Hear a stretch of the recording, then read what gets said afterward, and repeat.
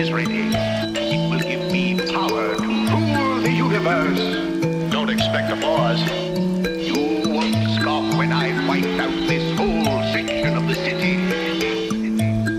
That's where I live. To me, the human aspect of superheroes has always been the most important part.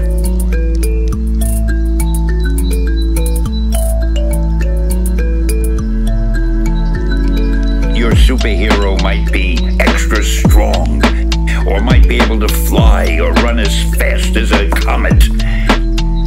But unless you care about the superhero's personal life, you're just reading a shallow story. Just because a person has a superpower doesn't mean he might not have the same personal problems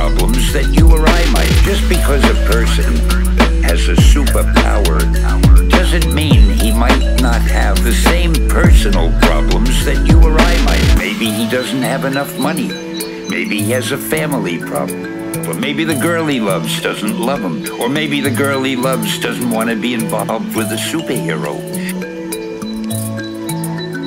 With a superhero. With a superhero.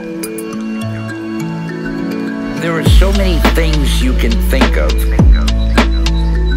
that round out the character and the personality.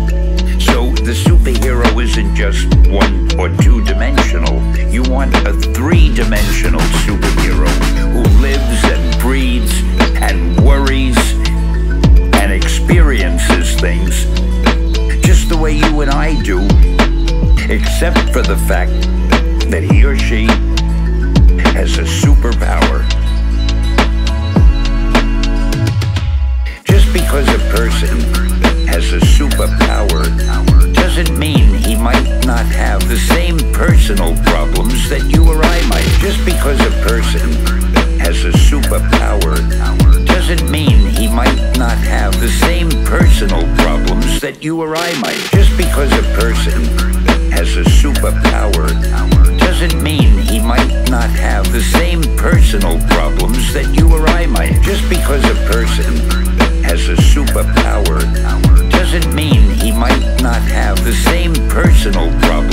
you or I might.